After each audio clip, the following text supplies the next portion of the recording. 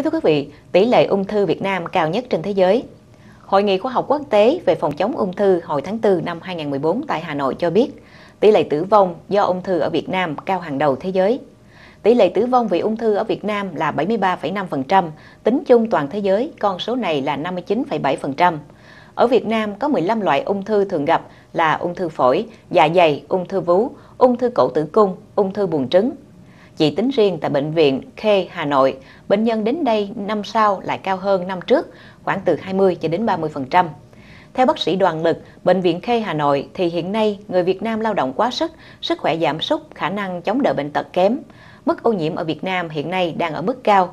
Ra đường thì gặp ô nhiễm không khí, bụi, ở nhà thì thấy ô nhiễm nguồn nước, ô nhiễm trong nhà.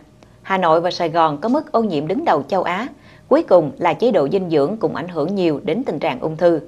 Trước hết là chế độ ăn của người Việt Nam hiện nay chưa được chuẩn mực, người giàu ăn không điều hòa, người ít tiền lại thiếu thốn quá.